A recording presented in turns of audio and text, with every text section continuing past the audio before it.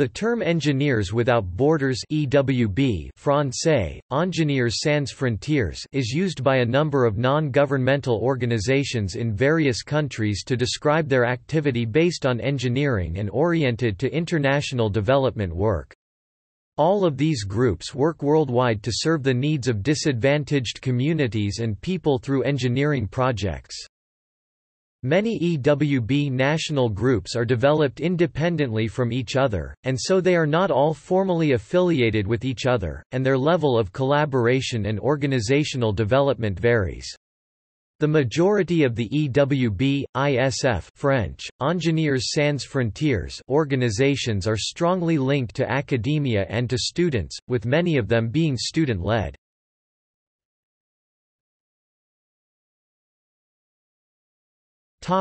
History of EWB, ISF organizations The first organizations to bear the name were Engineers Sans Frontières ISF France, founded in the 1980s, and ISF Spain and ISF Italy, founded in the 1990s. EWB Canada, one of the largest of the EWB organizations, was founded in the late 1990s. EWB UK was founded with the support of EWB Canada in 2001. In the USA, an organization called EWB USA was founded at the University of Colorado Boulder in 2001 by Bernard Amadei. Amadei founded the organization after working in Belize and Costa Rica. The original chapter of EWB USA is still a functioning chapter at the University of Colorado, working in northern Rwanda although the university now has several EWB USA chapters, the Rwanda chapter was the original. In the same year an organization called Engineers Without Frontiers USA was founded at Cornell University. This organization was later renamed Engineers for a Sustainable World following a dispute with EWB USA over the name.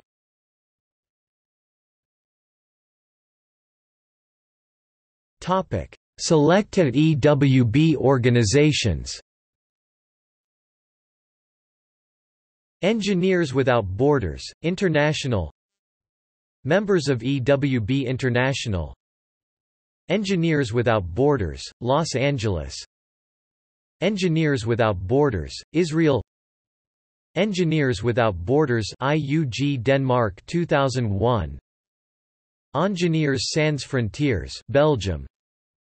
Engineers Without Borders Germany Ingenieur ohne Grenzen e.V. Germany.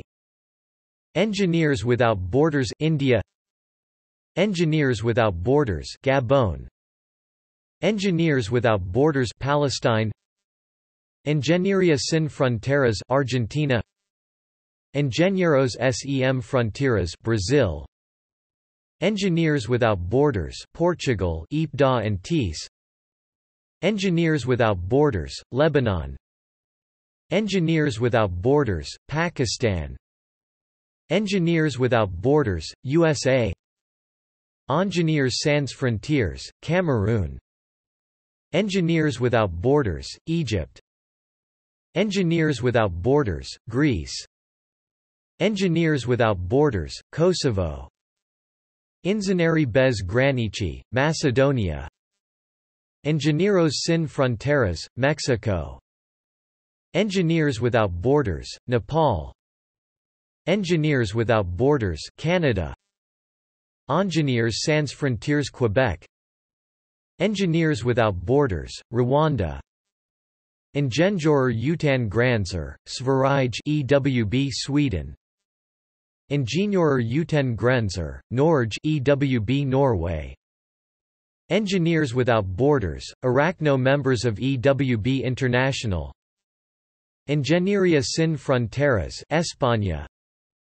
Engineers Without Borders, Luxembourg Engineers Without Borders UK Engineers Without Borders Australia. Engineers Without Borders New Zealand. Engineers Without Borders Ireland. Ingegneria Senza Frontiere Italy. Topic. International cooperation Several of the EWB, ISF organizations are affiliated with the organization Engineers Without Borders, International EWBI. EWBI is an association of national EWB, ISF groups with the mission to facilitate collaboration, exchange of information, and assistance among its member groups. EWBI was founded in 2004 by Professor Bernard Amadei, the founder of EWB USA. Several other older EWB, ISF groups are not members of EWBI, for a variety of reasons. EWB Canada, for example, states, "...an organization is more than just a name and roughly similar goals." In order to work together, the organizations must have a common strategy and culture, neither of which are currently present in the international network. Many of the organizations which are not EWBI members, such as EWB Canada, ISF Spain, EWB UK, and others, do collaborate with each other and with other similar groups.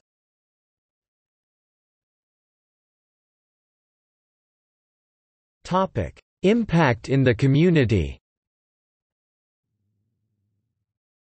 Researchers have identified different levels of community member participation, such as passive participation, initiative and leadership, and decision-making in projects across the globe. In order to have a true impact, students, professionals, and communities are given clearly identified roles for their participation in the project. The student's role consists of being open and willing to learn from the problems at hand and the methodologies used in the projects. Professional engineers are expected to fill the role of technical experts in the proven methods that are used and to communicate with students and community members. The communities are given the role of communicating with the assisting engineers and are actively encouraged to take participatory and leadership roles in the decision-making of the project methodology. Education is a major part of Engineers Without Borders and all participants are expected to learn from one another. The three levels of participation which are used by Engineers Without Borders are as follows, low monetary contribution, middle manual labor, and high decision-making and leadership positions. All of these roles are considered to be important for the projects to be successful. Most Engineers Without Borders projects focus on water and deal with sanitation, distribution, and management of water sources. One example of a completed water project is the River Basin Management Project in Palestine. River management can be very important in situations where the river provides the only source of drinking water. Projects of this nature can be extremely difficult, as the presence of biological barriers can prevent workers from making major environmental changes. Because of this, it can make it difficult to quantify the effectiveness of Engineers Without Borders projects.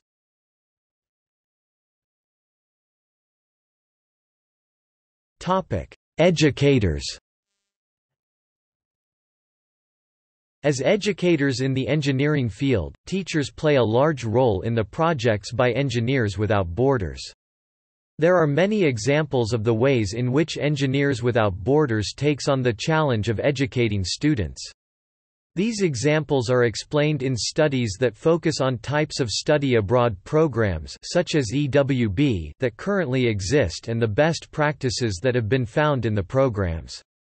One graduate class of nine students who study design, engineering, technology, were taught about science education programs and service learning in hopes to bridge the gap between males and females as currently the engineering field is dominated by males with only 11% of the workforce being female.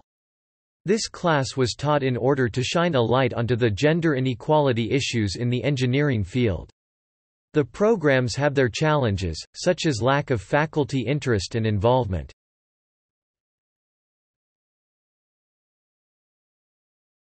Topic: Students Engineers Without Borders has created a way to train engineering students in technical and non-technical skills. The model of education that Engineers Without Borders uses is called service learning, which consists of students getting experience by building infrastructure in struggling third world communities. This model builds on academic literature that claims engineering professions should focus on sustainability. One example of this model of teaching was the Engineering in Developing Countries program at the University of Colorado at Boulder. The program had students from both engineering and non-engineering disciplines address a wide range of issues such as water provisioning, food production, health, and shelter. There are an increasing rate of cases where students create prototypes by using natural resources including wood, mud, and the land itself. Wood science is an accredited field in the engineering world, and one example of wood science being active is a pilot program called Wood Scientists Without Borders, which was established with a goal to encourage more engineering students to participate in wood science.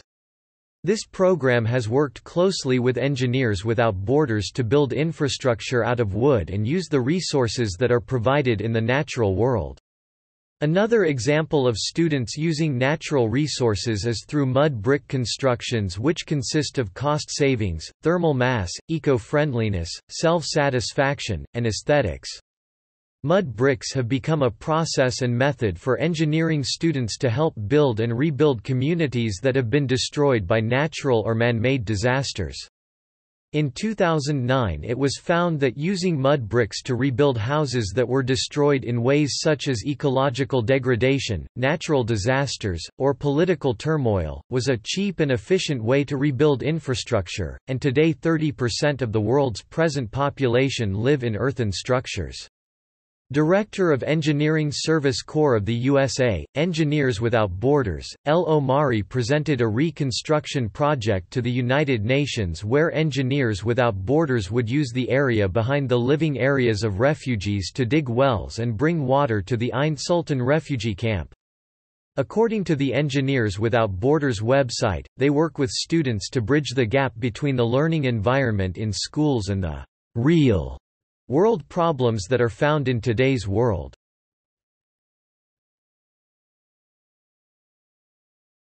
Topic. See also